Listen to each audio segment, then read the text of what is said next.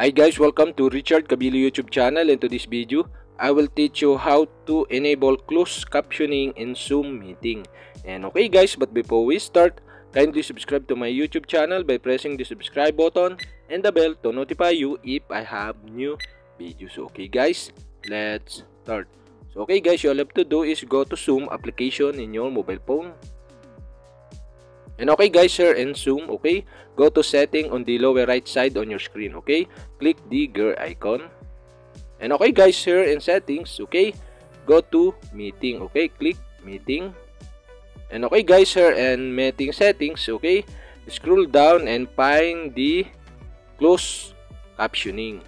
And okay guys, on the right side, okay, you can see the switch button, okay? To enable this, you'll have to do is turn on the switch button.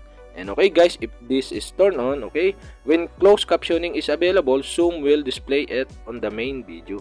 And okay guys, that's it. And okay guys, if you have a question, kindly comment below. And don't forget to hit the subscribe button and the bell to notify you if I have new videos. Okay guys, thank you for watching.